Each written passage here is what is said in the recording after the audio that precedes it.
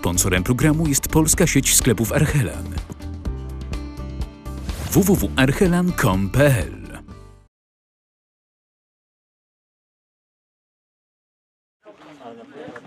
Środa podczas zgrupowania w Boszkowie była dla piłkarzy Jagiellonii bardzo pracowitym dniem. O godzinie 12 piłkarze Piotra Stokowca na boisku w Buczu mierzyli się z pierwszoligowym Stomilem Olsztyn, natomiast już o 18 w Poznaniu grali z tamtejszą Wartą.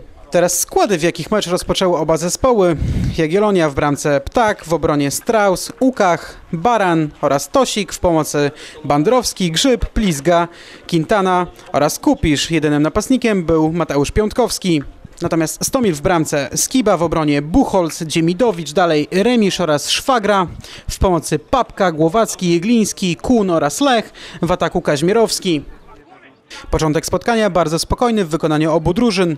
Pierwszą groźną sytuacją Jagiellonii był strzał Dawida Plizgi z rzutu wolnego. Piłka jednak minimalnie minęła prawy słupek bramki strzeżonej przez Piotra Skibę. W odpowiedzi Stomil Olsztyn, pewnie jednak w bramce Tomasz Ptak. Bramkarz Jagiellonii pierwsze pół roku ostatniego sezonu spędził na wypożyczeniu właśnie w olsztyńskiej drużynie. Teraz już Tomasz Bandrowski do Tomasza Kupisza. Kupisz wpada w pole karne, wystawia piłkę dla Daniego Quintany. Hiszpan nie miał już teraz problemów z umieszczeniem piłki w bramce. Zawodnik rodem z Wysp Kanaryjskich dzień wcześniej trenował jeszcze indywidualnie. Podczas sparingu nie było już jednak widać żadnych śladów po urazie. Jeszcze raz powtórka sytuacji, w jakiej Jagiellonia objęła prowadzenie w dzisiejszym meczu.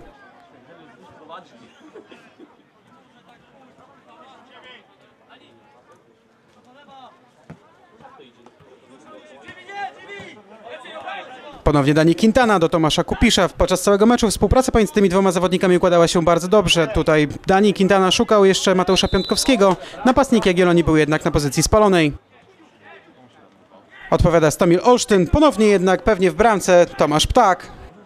Był to okres, w którym przeważał na boisku Stomil Olsztyn. Kolejna sytuacja tej właśnie drużyny. Tym razem już nie musiał interweniować Tomasz Ptak. Sytuację zażegnał Martin Baran. Znów w natarciu Stomil Olsztyn. Nieporadny w szeregach defensywnych Jagiellonii Białystok. Z piłką mija się również Tomasz Ptak. Całą sytuację wyjaśniają jednak Rafał Grzyb do spółki z Dawidem Plizgą. Długa piłka do Tomasza Kupisza. Tomasz Kupisz podaje jeszcze do Rafała Grzyba. Grzyb do Daniego Quintany. Piłka ponownie ląduje pod nogami Dawida Plizgi. Rozciągnięcie akcji do prawej strony. Tu już jest Tomasz Kupisz. Kupisz ponownie szuka Daniego Quintany. Quintana do Kupisza. Kupisz wydawałoby się, że wpadłby już w pole karne, jednak zostaje przewracany. Po tej sytuacji jednak sędzia nie odgwizdał rzutu wolnego. Teraz jeszcze mamy próbę z dystansu Rafała Grzyba, jednak niecelną. Ponownie Dawid Plizga. Przy piłce Mateusz Piątkowski. Znów Dani Quintana. Tomasz Bandrowski. Do swojego imiennika Tomasza Kupisza. Ponownie Dani. Dawid Plizga.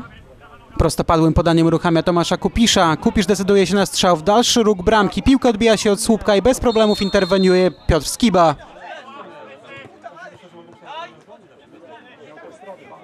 Teraz już w ataku Stomil Olsztyn. Długi cross na prawą stronę boiska. Strzał głową jednak minimalnie nad bramką.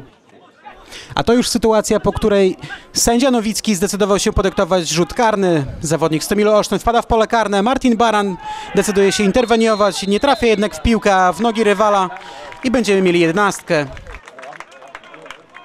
Jeszcze powtórka tej sytuacji. Do jedenastki podszedł Grzegorz Lech i pewnym strzałem w lewą stronę pokonał Tomasza Ptaka. Wkrótce arbiter spotkania skończył pierwszą część meczu. Po przerwie oba zespoły wyszły w nieco zmienionych składach. W Jagiellonii na boisku pojawił się Paweł Drażba oraz Tomasz Poremski. Natomiast trener Stomilu Olsztyn zdecydował się na zdjęcie całej jedenastki i wprowadzenie zupełnie nowych zawodników. Oto pierwsza sytuacja Stomilu Olsztyn po przerwie. Jednak sytuacja zostaje wyjaśniona. Teraz piłkę przyjmuje Rafał Grzyb. Przy piłce już Tomasz Bandrowski.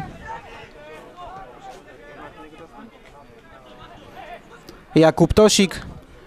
Na prawe skrzydło do Minkiumkina. Korańczyk jeszcze podaje do Pawła Drażby. Drażba strzela jednak minimalnie, niecelnie. Rzut rożny, ponownie Paweł Drażba. Mocno, ale niecelnie nad bramką. Złe wybicie obrońcy Jagiellonii Białystok. Przy piłce ponownie zawodnicy Stomilu Olsztyn. Piłka już w polu karnym, jednak zblokowana. Będziemy mieli rzut rożny. Ponownie Stomil, tym razem z prawej strony boiska. Sytuacja podobna do tej, w której Dani Quintana zdobył bramkę, jednak tym razem zawodnik Stomilu pomylił się. Teraz przy piłce Aleksis Narambłana dostrzegł, że ruch na wolne pole wykonał Michał Pawlik, do niego też adresowana piłka. Pawlik decyduje się na dribbling, mija rywala, strzela mocno, jednak pewnie w bramce Michał Leszczyński. Do wykonania rzutu rożnego podszedł Sebastian Kamiński, dorzucił piłkę w pole karne, a tam najwyżej wyskoczył Tomasz Poremski, dając Jagiellonii prowadzenie. Zobaczmy jeszcze raz, w jakich okolicznościach padła bramka na 2-1 dla Jagiellonii Białystok. Przy piłce ponownie Jagiellonia. Min Kyum Kim próbuje prostopadłego podania. Z bramki wychodzi jednak Michał Leszczyński.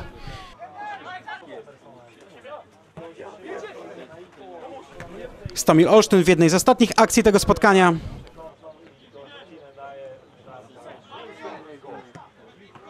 Jednak i tym razem pewnie w bramce Tomasz Ptak.